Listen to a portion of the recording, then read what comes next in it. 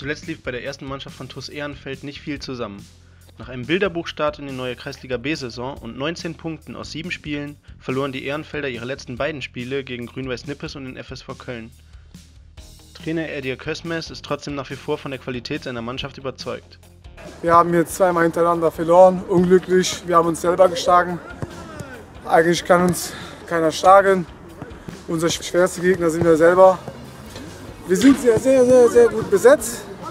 Aber das Problem ist ja, wie gesagt, wir sind neue Mannschaft und so. Wir haben Probleme und äh, wir müssen erstmal die Probleme beheben. Und um das zu machen, müssen wir arbeiten, arbeiten, arbeiten. Aber da leider die Schichtarbeiter da sind und so und ein paar Verletzte und wir können nicht das machen, was wir natürlich machen wollen. Zum Beispiel Standardübungen, so Torschuss. Da fehlen uns mal die Leute. Nächsten Sonntag will die Mannschaft nun unbedingt im nächsten Meisterschaftsspiel die Negativserie beenden. Aber da wartet ausgerechnet der Tabellenführer SC Hohlweide. Ein harter Brocken also für die Ehrenfelder. Eine spielstarke Mannschaft. Die sind sehr gut dabei, haben sehr gute Einzelspieler und funktioniert auch als Team. Aber wir werden Sonntag nach Hohlweide fahren mit dem Ziel, um zu gewinnen, uns den Tabellenplatz wieder zurückzuholen.